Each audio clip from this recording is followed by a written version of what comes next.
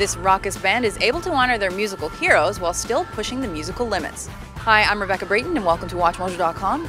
And today we're speaking with Kasabian. Hey son, I'm looking forwards. You're aiming backwards. Of this I'm sure. So tell us the origin story of Kasabian. When I was 16, 17 years old, uh, I met a guy called Sergio Pizzorno, and it was around the time the Britpop was really huge in that. And uh, he said to me, uh, "Would you like to sing in a rock band?" And I thought, you know, why not? Went to school together and all that, and. Uh, but we were in different separate classes, different kind of gangs and that. Rehearsed relentlessly, you know, like a religion, three or four times a week. Then one day, we just fell in the hands of a uh, you know record company. We got signed, and now I'm here. I'm now 31. There you go. there you go.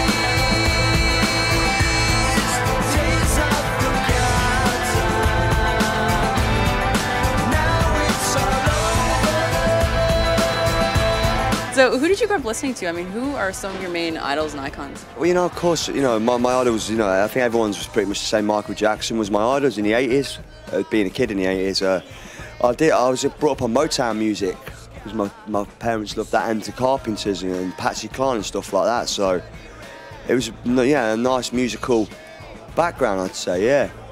I was going to ask uh, any influences we might not expect, but I did not expect those. Yeah, so- well, yeah, there you go.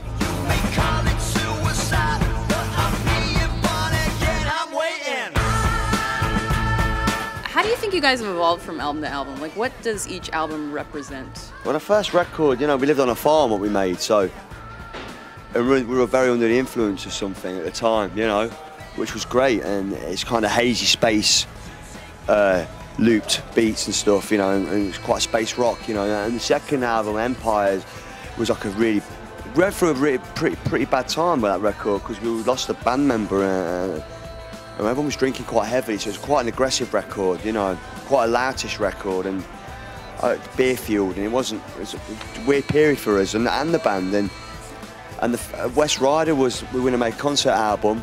I grew my hair long down here and dressed up, you know, for the front cover. Did something a bit funny, a bit bit, bit crazy, you know. But uh, and that was our psychedelic record. And our last album, Velociraptor, was just a good, great pop album, you know, with pop songs on. So I don't know what the next record's going to be like. honestly.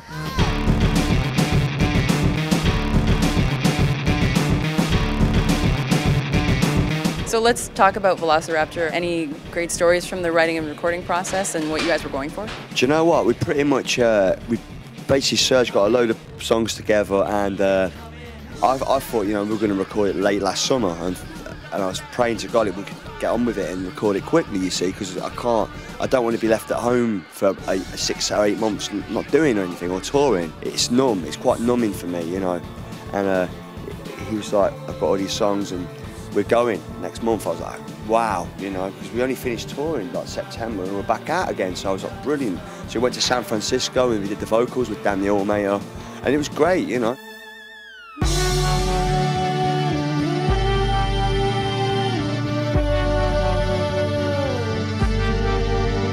What made you guys choose to document the recording process? You got to document your life, haven't you? You know, I suppose. it's nice to look back, you know.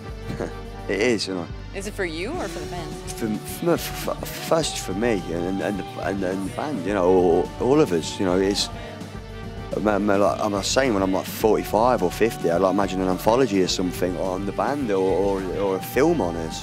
It'd be amazing. We've got so much footage, you know, and footage when I, you know, when we were 18, and you know, it's amazing. Do you like to watch your stuff back? Well, I sometimes get a bit weird with it, you know. If I'm drunk, then I love it, you know. I think it's brilliant. I can sit there and keep watching it, you know.